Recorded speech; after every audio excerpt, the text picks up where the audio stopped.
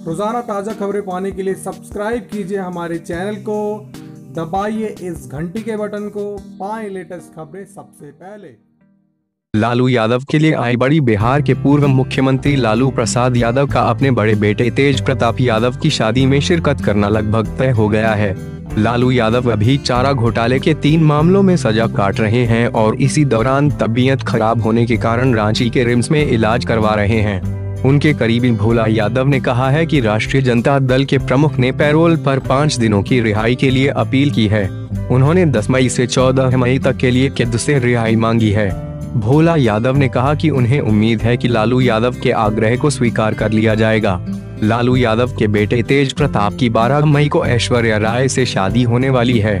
दोनों की सगाई लालू यादव की गैर मौजूदगी में हुई थी। उस समय लालू नई दिल्ली के एम्स में इलाज करवा रहे थे। पैरोल पर रिहाई के आवेदन दिए जाने के बाद खबर है कि झारखंड सरकार ने लालू यादव की अपील को मान लिया है।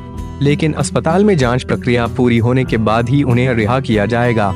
लालू यादव के एक बहुत ही करीबी ने अपने सूत्रों के हवाले से बताया है कि राजद प्रमुख की पैरोल पर रिहाई में अब कोई अड़चन नहीं है।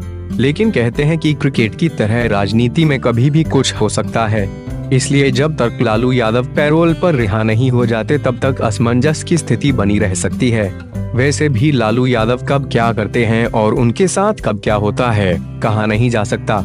याद रहे कि लालू यादव को चारा घोटाले में सजा के लिए राजद के नेताओं ने शुरू ही से भाजपा की केंद्र सरकार और खास तौर से प्रधानमंत्री नरेंद्र मोदी के साथ ही बिहार के मुख्यमंत्री नीतीश कुमार को जिम्मेदार ठहराया है। संयोग से झारखंड में भी भाजपा की सरकार है और लालू को पैरोल पर रिहा करने का फैसला। राज्य के पुलिस महानिरीक्षक जेल ही फैसला लेंगे तथा यह फैसला झारखंड के मुख्यमंत्री रघुवर दास के आदेश के मुताबिक ही होगा।